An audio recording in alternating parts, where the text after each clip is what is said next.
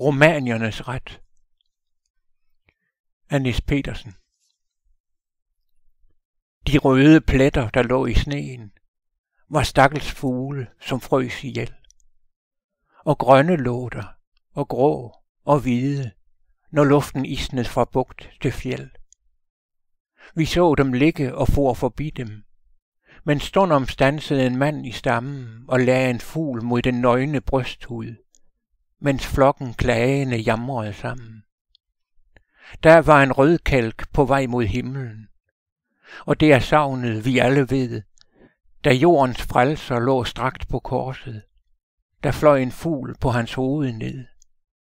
Der kom en sitrende lille skabning. Den trak en torn af den hvide pande. Den stak den dybt i sit fuglehjerte og gik før han mod de fjerne lande. Det er en gammel troværdig saga, da jordens frelser blev kastet ned med tornekronen og ryggen blodig og panden blank af den kolde sved. Da ledte bødlernes grumme svende, fordi de savnede fjerde spir. Men Jesus smilte til den cigøjner, der kærligt stjal det.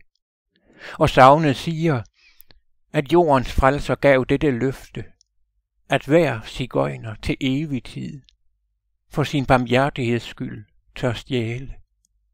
Men går hans vej gennem sneen hvid, og ser han rødkælken isnet falde, der skal han lægge den mod sit hjerte, og på sin færd skal den lille broder med jamren følges af stammens smerte.